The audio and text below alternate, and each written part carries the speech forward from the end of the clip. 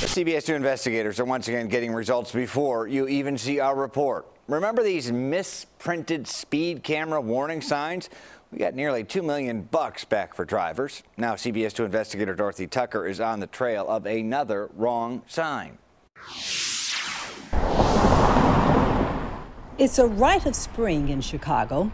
Snow melts, temperatures rise, and these hibernating machines wake up. Street sweepers soon to be familiar sights again on city streets. They post signs, you know, for things like street cleaning. The signs say no parking. I come here to work. April through October. I got nowhere else to park. Two days a week. Well, I parked my vehicle over here. Here is 5717 West Fullerton in the Belmont Cragin neighborhood, right in front of the mattress shop Joseph Wolowski opened three years ago. You look at that sign. Right where he parks, something else is permanently parked. What does that sign read? It reads, no parking 7 a.m. and 9 p.m. Tuesday and Thursday, April 1st through October 31st, street cleaning tow zone. The no parking part adds up. So does the twice a week part. But take a closer look at those times. What is it supposed to say? It's supposed to say 7 a.m. to 9 a.m.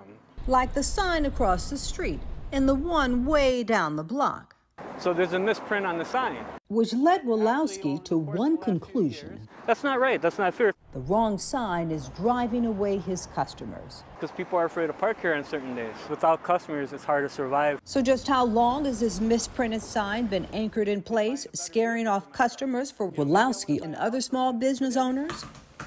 The CBS 2 investigators did a quick online search, revealing Google cameras snapped photos of it several times over the years, dating all the way back to 2014. A surprise to 36 ward Alderman Gilbert Villegas when we told him about it. What's going on here? Villegas checked city rules and discovered, sure enough, the sign should read 7 a.m. to 9 a.m., not 9 p.m. We then went over there and had someone canvass the area to see if it was just that one sign or was it multiple signs. Turns out it was just that one sign, at least in his ward. The city made a mistake. Chalk it up to yet another costly misprint by the Chicago Department of Transportation's sign shop. Sometimes I see people pull up, they look on their phones, they look at the sign, and then they take off.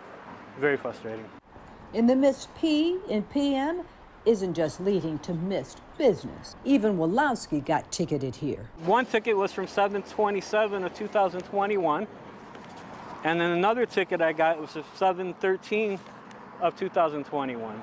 Making us wonder just how many drivers have gotten parking tickets they didn't deserve along this stretch of Fullerton. The CBS 2 investigators dug through the city's parking ticket data. Between August 2014, when we first found evidence of the misprinted sign, and May of 2018, we discovered 55 tickets were issued here. Drivers paid more than $3,500 in fines and fees. Why 2018? Because that's the most recent data that the Department of Finance released to ProPublica. We're still waiting for the city to turn over the complete records of the four years since, which we requested three months ago. And if it all sounds familiar, remember these two misprinted speed camera warning signs the CBS 2 investigators discovered last year? In all, this colossal mistake adds up to nearly $2 million. The city has repeatedly blundered in posting the proper times on their signs. Back in Belmont Cragin, Alderman Villegas is urging people to fight any tickets they received in air because of the sign. He also raised the possibility of refunds. We're talking to the finance department to make sure that someone didn't get any wrong tickets, and if they did, we want to make sure that we're correcting that. One thing that's been corrected, that wrong sign. As soon as you notified us, we called the sign department and said, hey, we need to get this uh, sign corrected, and it's been corrected. There's one big question we can't answer. Are there more wrong signs out here? If so, where are they? CDOT doesn't track the location of street sweeping signs, so we need your help.